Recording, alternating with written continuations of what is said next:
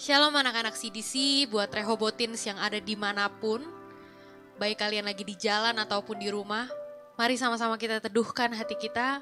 Kita persiapkan yang terbaik dari kita untuk memuji dan menyembah Tuhan hari ini. Kita mau katakan tiada ternilai. Kasih Tuhan yang tiada ternilai.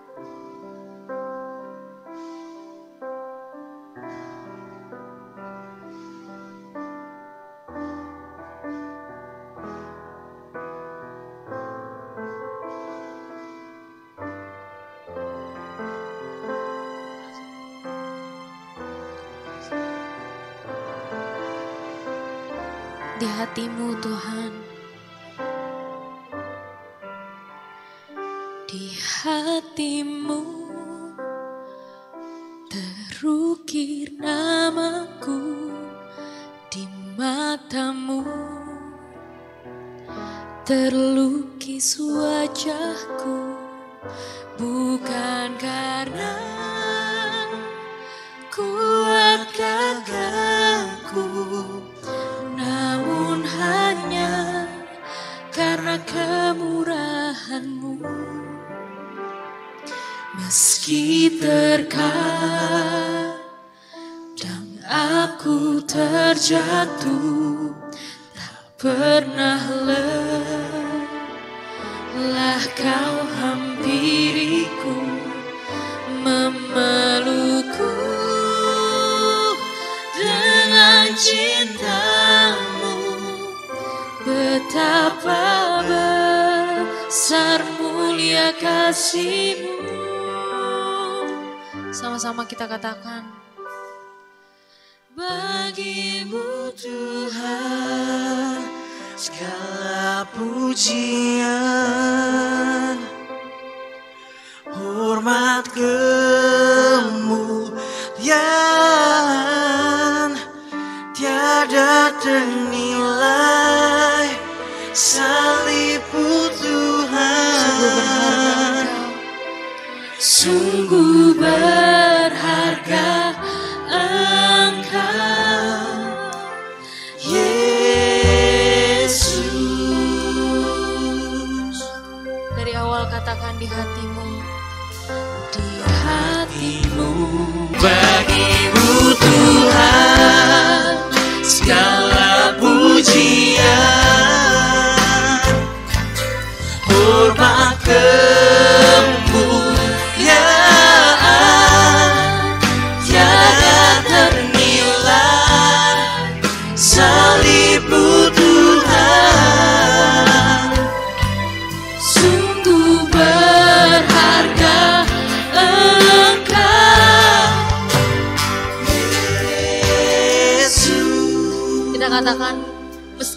terkadang aku terjatuh. Meski ter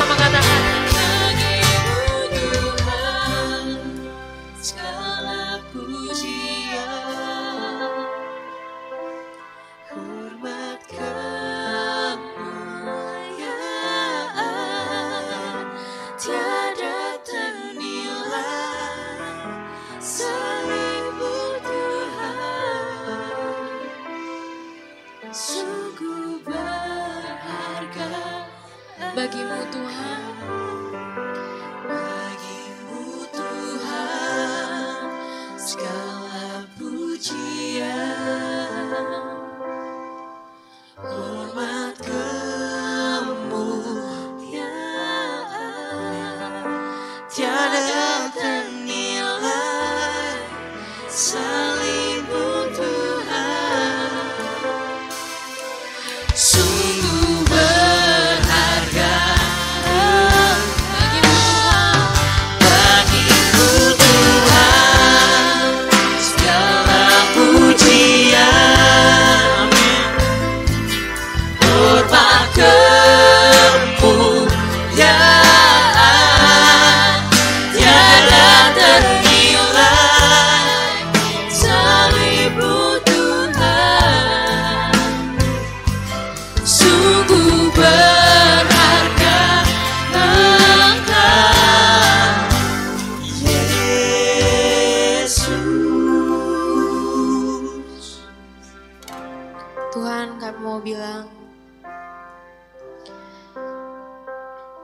bersyukur Tuhan memiliki Allah sepertimu.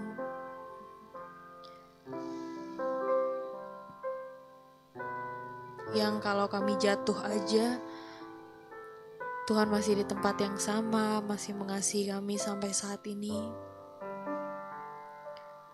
Tuhan, kami bersyukur untuk satu hari lagi yang Tuhan kasih untuk kami. Memuji, menyembahmu Tuhan. Hadirlah Tuhan di pujian kami, di mana pun kami berada. Biar itu jadi tempatmu Tuhan.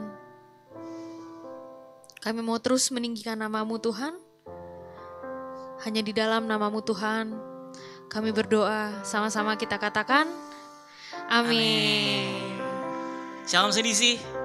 Senang banget bisa ketemu kalian semua lagi. Walaupun kita via home, via YouTube, but that's okay. Eh, kita masih bisa memuji dan memuliakan nama Tuhan, oke? Jadi gue pengen ajak kalian semua untuk bangkit berdiri. Kita sama-sama memuji dan memuliakan Tuhan. Come on.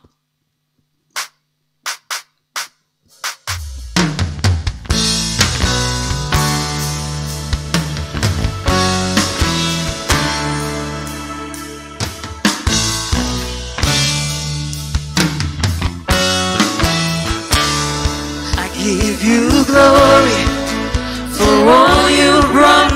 Come on. And now I'm ready for whatever you wanna do. I'm moving forward to follow after you. Now I'm ready, and now I'm ready for whatever you wanna do. Say your presence. Your presence is an open door. We want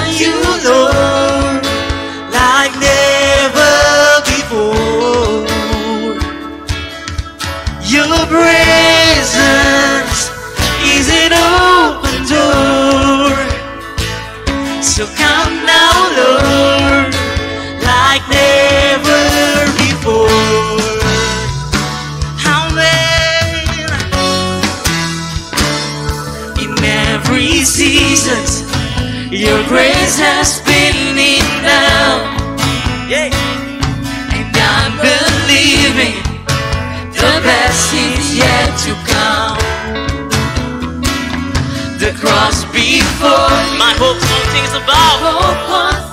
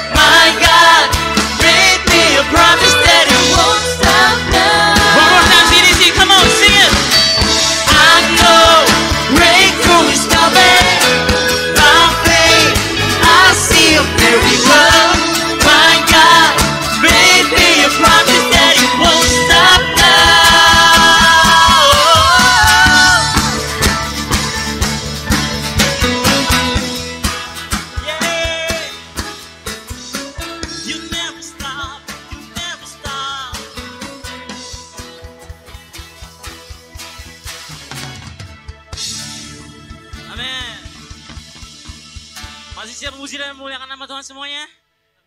Come on, music. Mari semua sama-sama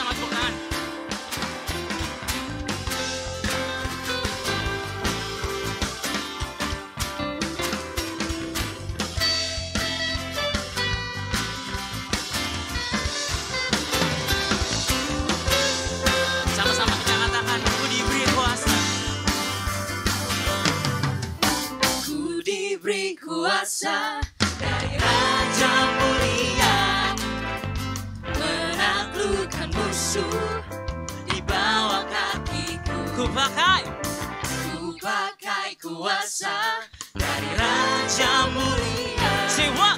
Bila Allah ada bersamaku, siapa jadi lawanku?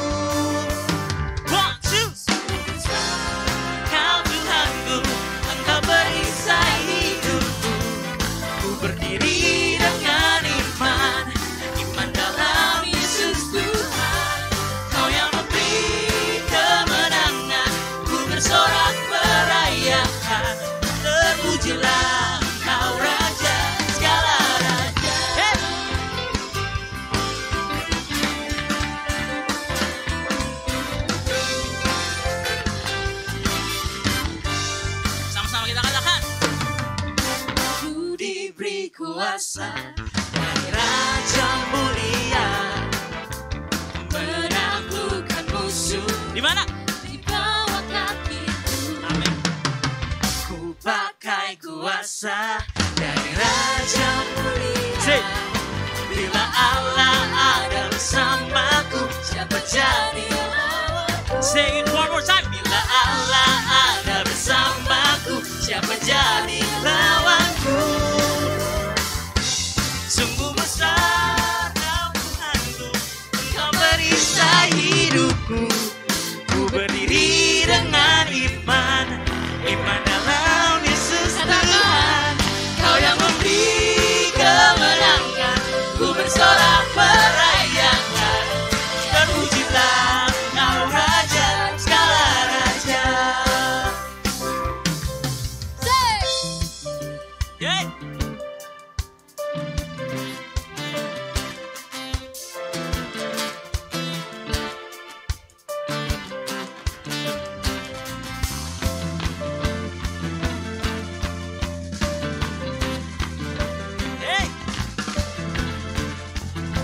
Ayo sini sini sama-sama kita katakan.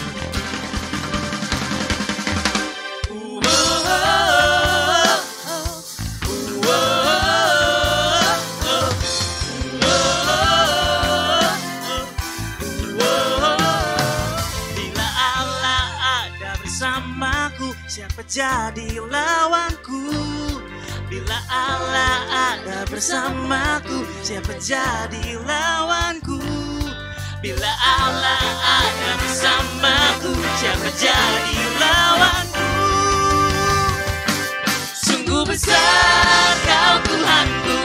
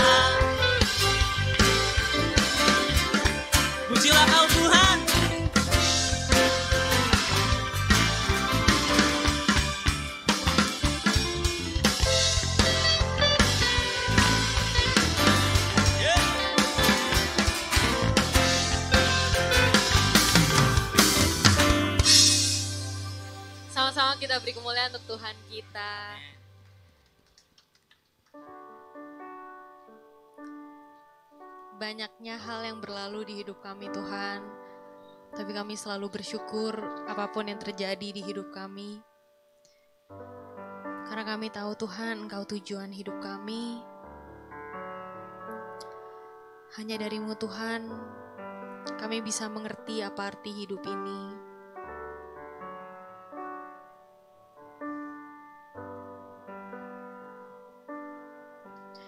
Hari-hari hidup datang dan berlalu. Bagaikan deret awan yang ditiup angin. Hatiku bertanya, kau berikan jawabnya? Mengapa ku di sini di gembara dunia? Kita katakan dari awal Hari-hari hidup.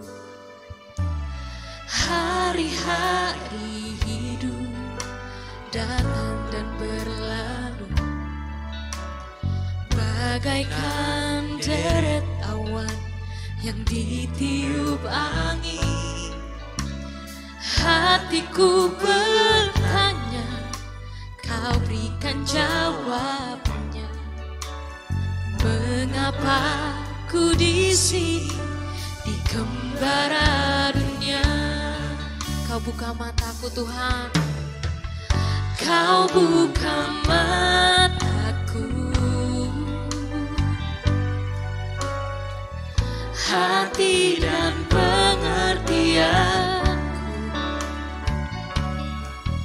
Hidup ini Untuk mengabdi disingkat hariku. Katakan dengan sungguh kaulah tujuanku Tuhan. Kaulah tujuanku.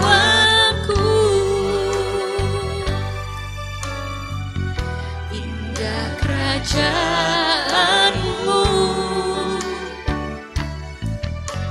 Di ujung jalanku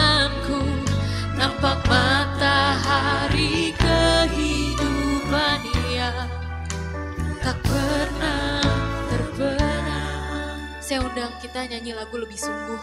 Kita katakan hari-hari hidup. Hari-hari hidup datang dan berlalu bagaikan deret awan yang ditiup angin. Hatiku bertanya, kau berikan jawabnya. Mengapa di sini di gembara dunia? Kau buka mataku Tuhan. Kau buka mataku Hati dan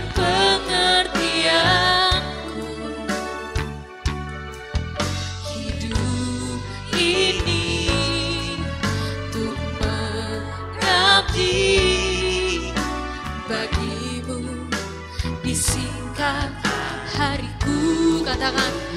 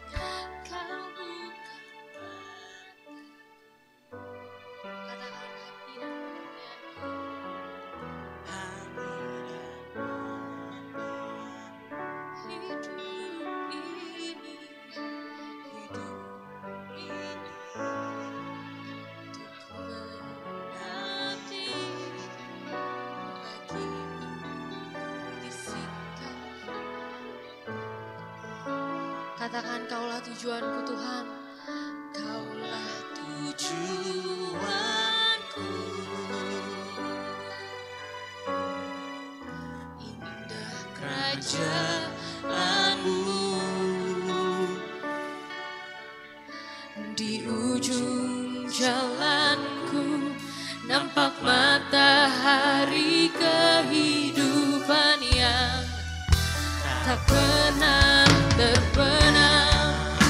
kau buka mataku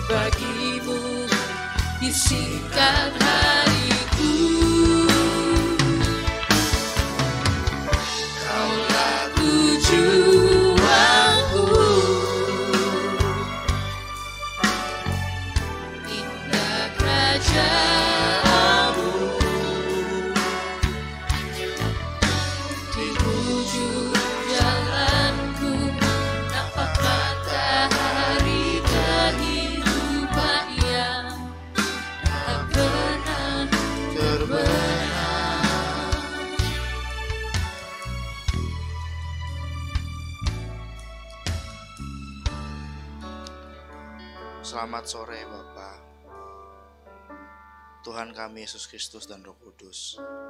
Tuhan, terima kasih untuk kesempatanmu kali ini Tuhan. Hamba masih eh, diperbolehkan untuk menyampaikan isi firman-Mu Tuhan. Taruhlah perkataanmu di mulut hambamu ini Tuhan.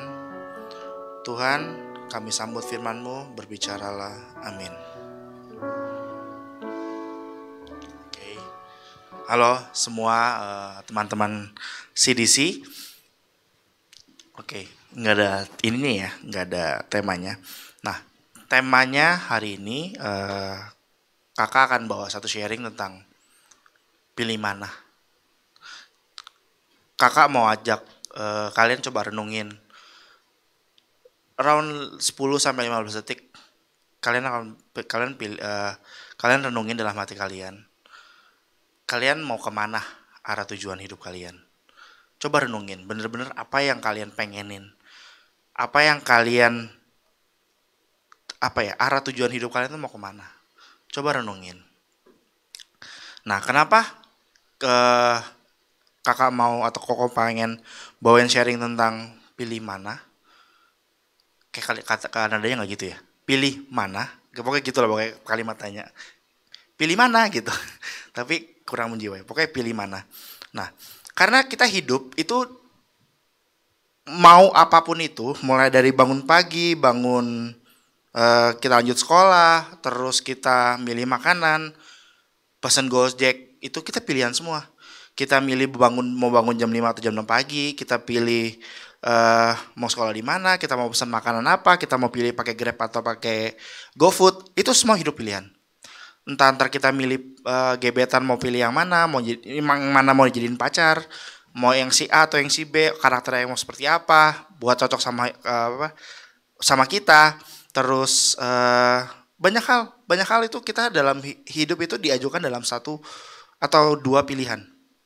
Bahkan lebih dari dua pilihan. Kita tinggal pilih mau yang mana. Kita ada banyak banget pilihan. Nah pilihan yang kita ambil itu biasanya yang kita ambil adalah menurut kita itu baik. Menurut kita, biasanya. Pertanyaan adalah gini loh. Standar menurut kita baik itu seperti apa? Contoh misalnya begini. Taruhlah misalnya contoh yang simple yang paling dekat sama kita. Pacaran beda agama. Pacaran beda agama. Kalau menurut standar apa ya? Standar koko, cici, eh, Alkitab dan sebagainya. Itu sangat tegas dilarang untuk tidak boleh pacaran beda agama. Why? Kenapa? Karena ya banyak apa ya? Banyak teori yang mengatakan orang satu agama pun juga hidupnya bisa nggak apa ya bukan nggak berkenan ya Jal, jalannya bisa bertabrakan gitu. Apalagi beda agama. Ketika lu day mau ke gereja eh, pasangan lu nggak mau ke gereja serba salah itu jadi ribut. Banyak hal. Nah itu yang paling dekat nih itu pilihan. Cuman banyak orang kalau misalnya standarnya yang standarnya nggak setinggi itu bukan nggak setinggi standarnya nggak capek sampai itu dia menganggap pacaran beda agama boleh kok Kenapa? Ya yang penting kan saling dukung. Saling dukung bla bla bla bla itu memperkuat apa ya? Memperkuat cara dia berpikir sehingga dia menentukan pilihanku bener nih. Tapi bisa dibayangin, bisa dibayangin adalah apa yang dia pikir itu menurut dia baik. Tapi bukan standar yang benar itu yang baik yang menurut dia. Ngerti kan? Ngerti? Jadi pilihan yang baik atau bukan pilihan baik, pilihannya dia. Dia lakuin apa yang menurut dia baik. Tapi bukan yang benar-benar baik. Nah, kita coba buka satu ayat ya. Kita buka, kita baca di Roma 7 ayat kedua-dua sampai kedua-lima. Kita baca sama-sama ya. Roma 7 ayat yang kedua-dua. Sebab di dalam batinku aku suka akan hukum Allah. Tetapi di dalam anggota-anggota tubuhku aku melihat hukum yang lain yang berjuang melawan hukum akal budiku dan membuat aku menjadi tawanan hukum dosa yang ada di dalam anggota-anggota tubuhku. Aku manusia celaka, siapakah yang akan melepaskan aku dari tubuh mautku ini? Syukur kepada Allah, yes, oleh Yesus Kristus Tuhan kita. Jadi dengan akal budiku aku melayani hukum Allah, tetapi dengan tubuh insaniku aku melayani hukum dosa. Nah, perikop ini ngajarin, perikop ini ngajarin kayak aku tahu yang bener nih. Aku tahu yang bener.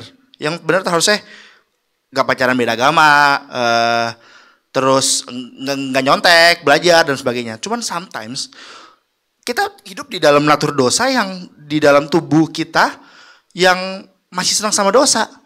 Kita masih ngelakuin yang yang yang yang salah gitu. Padahal kita tahu yang bener. Nah, balik lagi ke tema kita ke tema kita hari ini. Kita itu hidup di di dalam pilihan-pilihan-pilihan yang akan membentuk kita one day akan membentuk pilihan kita selanjutnya. Pilihan kita hari ini akan menentukan pilihan yang apa kita pilih selanjutnya. Contoh misal begini. Kamu hari ini nggak nurut sama orang tua kamu. Mungkin masalah sepele. Mungkin masalah sepele bangsa nggak mau ngeles. Kalian nggak mau makan sayur, orang tua kalian suruh makan sayur. Kalian orang tua pilihan simple, nggak mau nurutin kata orang tua yang peraturan kecil-kecil. Cuman itu jadi akumulasi, akumulasi, akumulasi berulang-ulang kali sampai membentuk kebiasaan kalian nggak bisa dibilangin sama orang tua dan memilih sesuatu yang salah.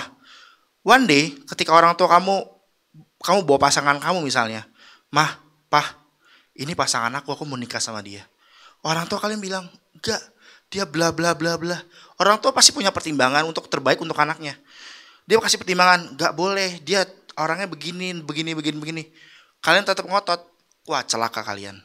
Ketika kalian nikah sama dia, ini kita ngomong agak jauh mungkin sumur kalian mungkin gak relate.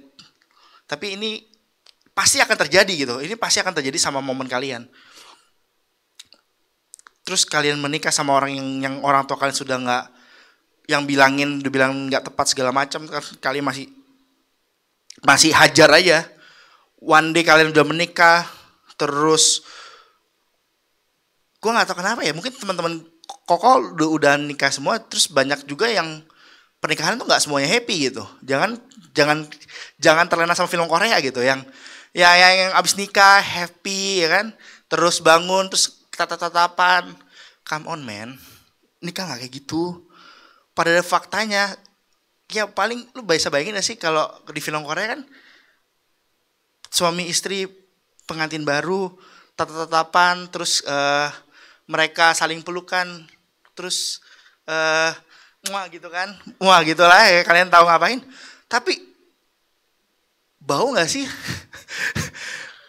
koko aja cium mulut sendiri tuh kalau itu nggak enak loh. Jadi apa ya? Jadi jangan jangan apa ya, terlena sama hal-hal yang dunia bilang yang bohongan itu bohongan. Karena dunia pernikahan nggak selalu indah.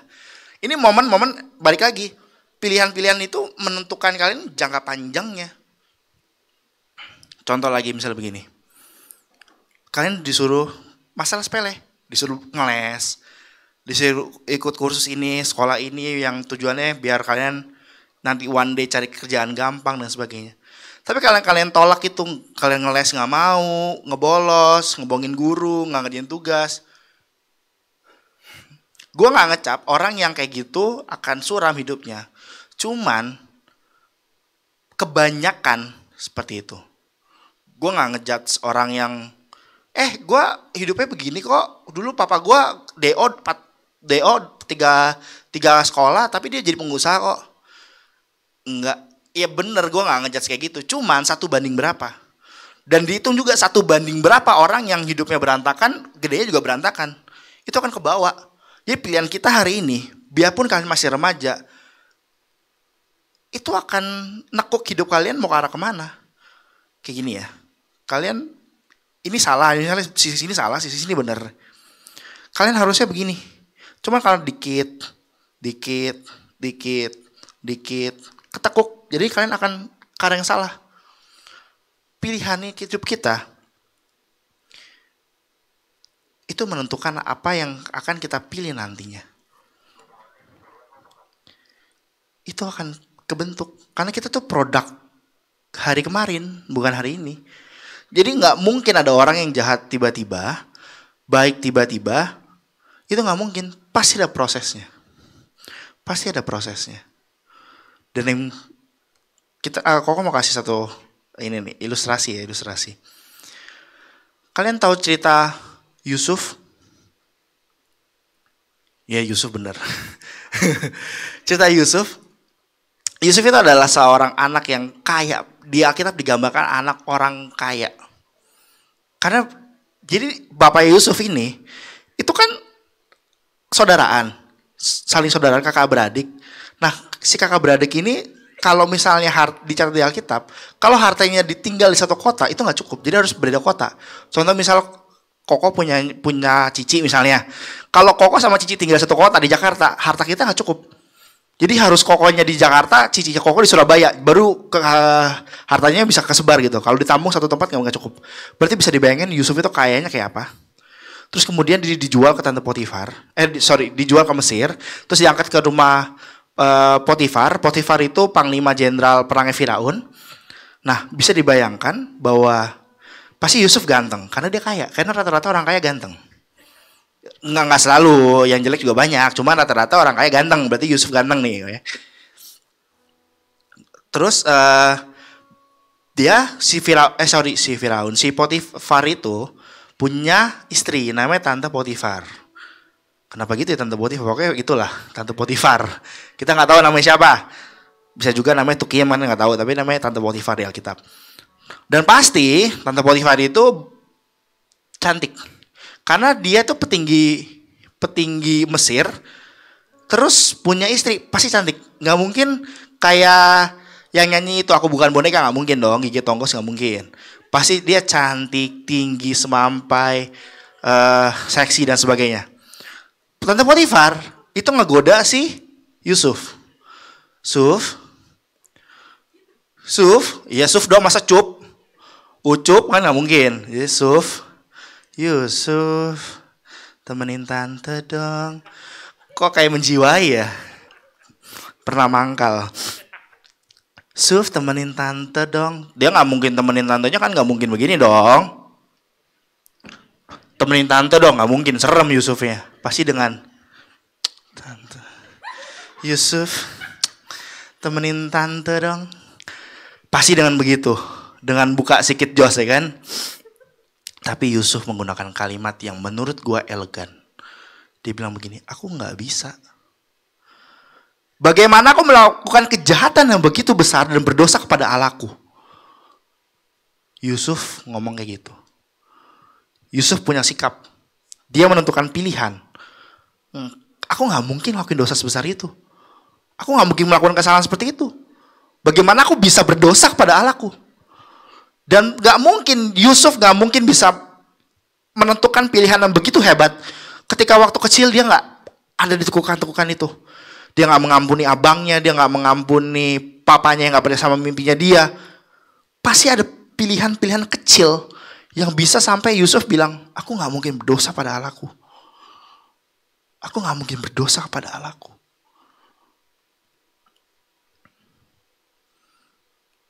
Oke, banyak dari kalian mungkin begini. Banyak kasusnya begini loh. Dari kalian tuh nggak mau milih yang benar. Kenapa? Karena kalian ngerasa kalian tuh nggak layak untuk pilih yang benar. Banyak anak remaja, banyak bahkan bahkan orang-orang yang udah dewasa itu layak kayak eh banyak yang bilang gue nggak layak, gue udah terlalu kotor, gue nggak mungkin bisa ngejar kesuciannya pendeta, gue nggak mungkin bisa ngejar kokok cici mentor, karena gue nggak layak, makanya gue nggak pilih itu. Banyak banget ya orang yang kayak gitu. Sekarang aku mau kasih, eh koko masih contoh begini. Kalian tahu di cerita di Matius ada pemuda kaya. Pemuda kaya datang ke Tuhan Yesus. Tuhan bagaimana aku cara memperoleh hidup yang kekal? Tuhan Yesus bilang apa? Patuhi Taurat. Berikan makan pada orang miskin. Jangan berbuat dosa. Udah cukup. Lalu pemuda itu bilang, aku sudah melakukannya. Aku sudah melakukannya. Lalu apa lagi Tuhan? Berarti kalau dicap seperti itu, berarti dia orang baik. Betul, setuju? Karena dia sudah ngelakuin Taurat, dia tidak berbuat jahat, dia tidak menyakiti orang. Dia orang baik. Lalu Tuhan mengatakan, kalau begitu, jual segala milikmu, ikutlah aku. Eh, jual segala milikmu, bagikan kepada orang miskin, lalu ikutlah aku. Ngelepasin semuanya dong. Orang pemuda kaya itu nggak mau. Pemuda kaya itu nggak mau. Dia tetap keep dia punya ego, dia keep punya harta, dia keep punya kesenangan. Akhirnya dia binasa. Tapi kamu kamu baca coba cerita se- seorang Sakeus. Dia itu pemungut cukai yang suka meresin harta orang Yahudi. Sebenarnya ya Sakeus itu juga orang Yahudi. Dia dia meres bukan meres orang etnis lain atau itu lain. Dia peres kelompoknya sendiri. Dia peres orang Yahudi juga. Kayak orang Indo nih, dia nggak meres orang eh, misalnya orang bule nggak, dia peres orang Indonesia juga. Sakyus juga kayak gitu. Tapi hebatnya dia, dia mengatakan gini, setengah dari hartaku akan kubagikan pada orang miskin. Dan barang siapa yang pernah aku peras akan aku ganti empat kali lipat. Lalu Tuhan Yesus bilang apa? Itu itu Sakyus kalau bisa digambarkan berarti dia orangnya bengis. Dia meres. Dia jahatin orang Yahudi. Tapi Tuhan Yesus bilang apa? Pada hari ini di rumah ini ada keselamatan. Di rumah ini ada keselamatan. Karena Sakyus anak ini juga anak Abraham. Jadi soal you baik atau tidak itu bukan soal saat ini lu kotor apa enggak. Tapi lu mau pilih mana?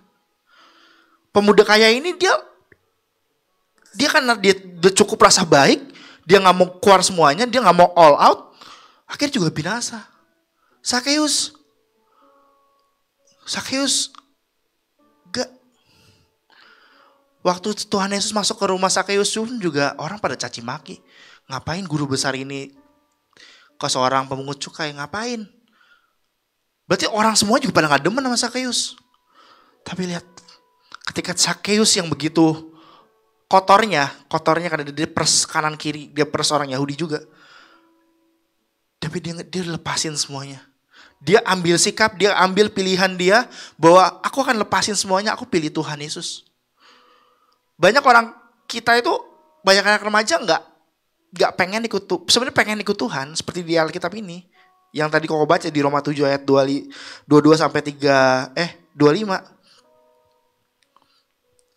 karena cuman karena ter- keterbatasan kalian ngerasa kalian kotor, kalian ngerasa kalian jorok, nggak nggak bisa punya kesempatan buat ikut Tuhan lagi.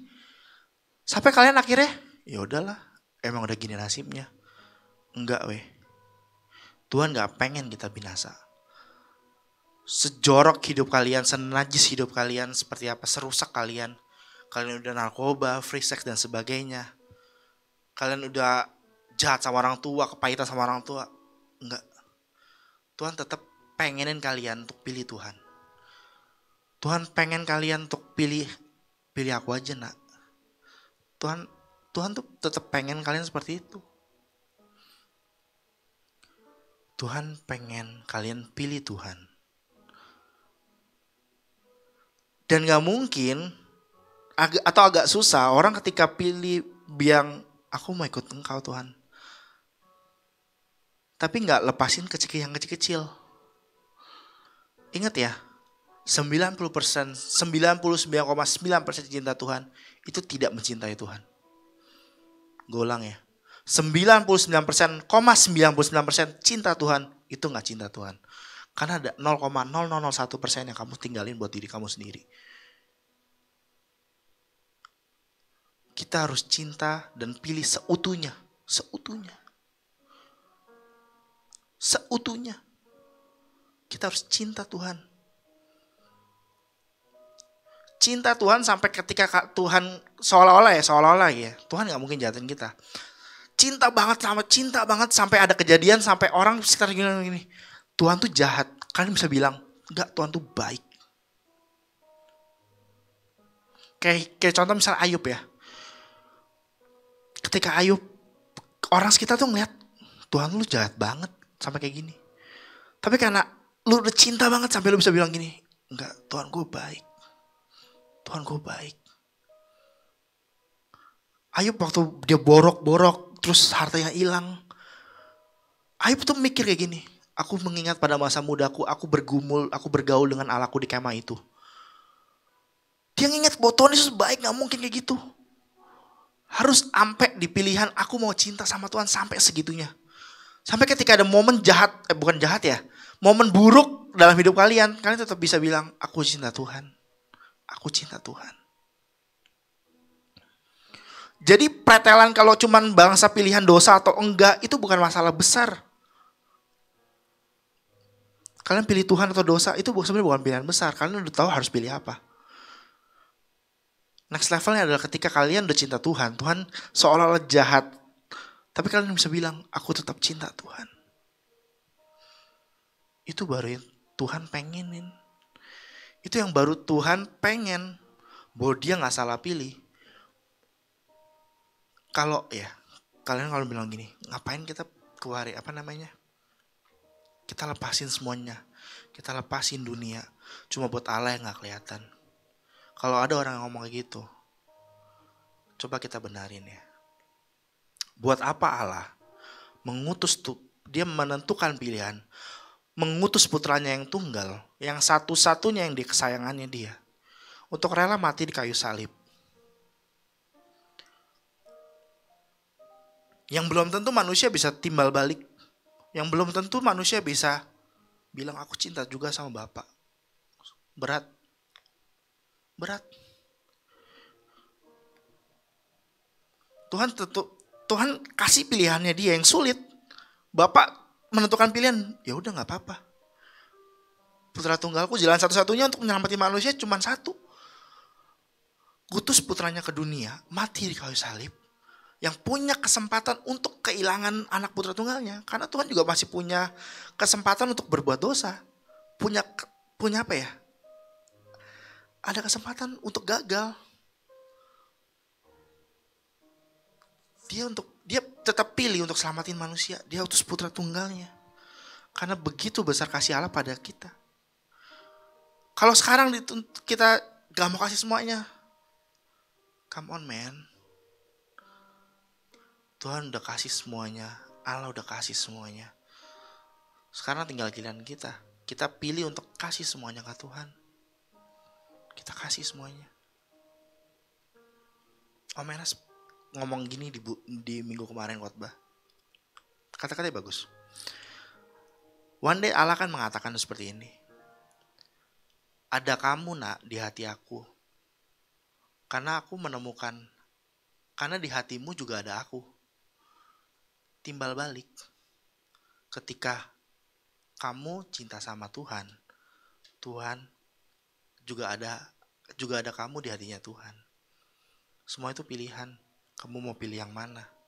Kamu mau pilih yang tetap pilih kedagingan kalian atau kerohanian kalian? Kalian pilih yang mana? Kalian mau pilih Tuhan atau pilih nyakitin Tuhan? Itu pilihan kalian. Kalian pilih cinta dunia atau cinta Tuhan? Itu pilihan kalian. Tapi ingat tanggal mainnya. Ketika di penghakiman nanti, yang terburuk itu bukan masuk neraka. Kalau ada pendeta yang mengatakan terburuk dari masuk apa di pengadilan kita kita nggak hidup bener ya. Yang terburuk itu bukan masuk neraka. Yang terburuk bukan masuk neraka. Tapi terpisah dari Allah. Itu yang mengerikan. Kalau masuk neraka masih bisa connect, bisa doa sama Tuhan, masih oke okay lah. Tapi masalahnya enggak. Yang terburuk bukan masuk neraka, tapi terpisah dari Allah. So, pilihan di tangan kalian. Kalian mau terpisah sama Allah, atau kalian mau hidup sama Allah sama-sama. Dan gue cuma kasih bisa bilang, bijaklah dalam hidup. Pilihlah yang benar. Karena pilih Allah itu nggak pernah menyesal. Nggak ada sejarahnya orang yang dekat sama cinta sama Tuhan, hidupnya dipermalukan. Orang yang cinta, benar-benar cinta, hidupnya susah. Ini nggak ngomongin soal materi ya, cuman kalau hidupnya benar pasti Tuhan jaga. Dan yang paling penting ketika kita mati kita ketemu sama Tuhan kita. Itu aja. Itu aja. Sekian dari uh, Koko. Mari kita tundukkan kepala sama-sama kita berdoa.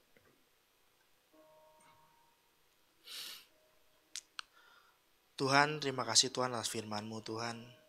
Ampuni segala tidak tepatan yang kami lakukan Tuhan.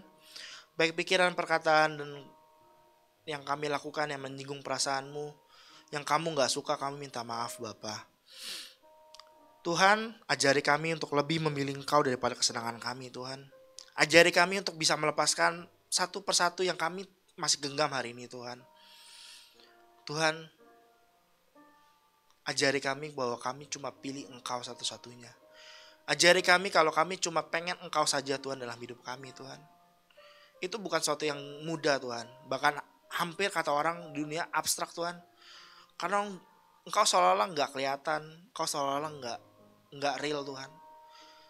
Tapi kami percaya bahwa Engkau adalah Allah yang hidup yang selalu ngeliatin kami Tuhan.